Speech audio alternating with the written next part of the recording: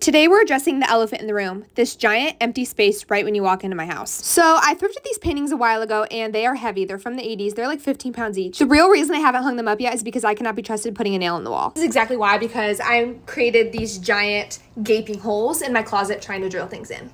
I'm so thankful for my friends at 3M coming out with this claw drywall picture hanger because this is definitely a lifesaver for me and now I will hang up anything with no problem.